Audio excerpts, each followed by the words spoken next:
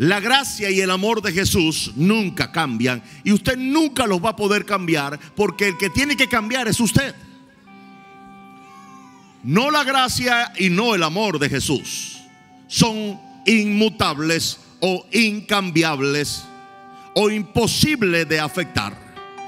La gracia y el amor de Jesús afectan a todos, pero todos no pueden afectar la gracia ni el amor de Jesús porque es algo que le pertenece a Él como Dios. Y Él lo da a la humanidad como una bondad y un regalo. Y Él no cambia porque Él es el mismo ayer, Él es el mismo hoy, es el mismo por los siglos.